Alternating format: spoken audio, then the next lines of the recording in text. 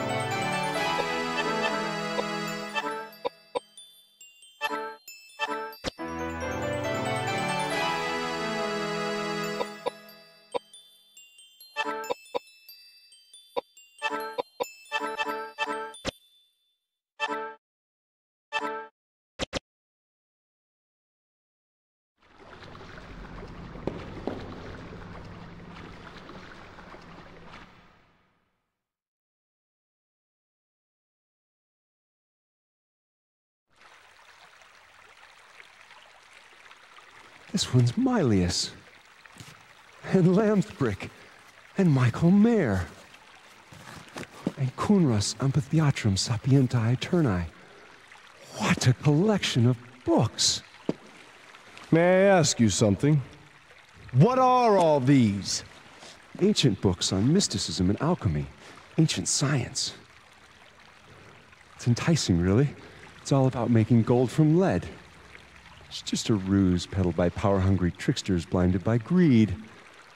But in amongst the trash, there are some valuable works illustrating basic useful experiments for predicting the laws of nature. Predicting a time when all men will be treated equally. God's will. No room for this argument nowadays. James. Hermeticism, Kabbalah, meaningless. Why? Why is it not here? What? Where else can it be? Are you looking for something? I don't understand. I don't understand. You don't understand. I don't understand. What are you grumbling about? You're acting really strange.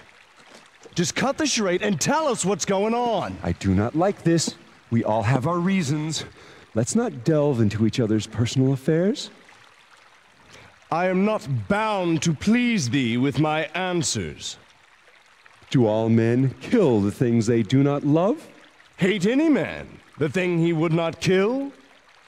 And I thought all outlaws read just simple, stupid poets. You read Shakespeare. You're smarter than you look. That makes two of us.